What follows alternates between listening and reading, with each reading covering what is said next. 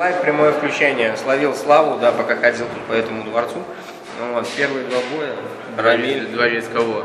Рамиль, Рамиль у него, победа. у него Ну, Рамиль, жилет Рамиль посмотри на нас. Да, Рамиль, помахай. Помахай ручкой.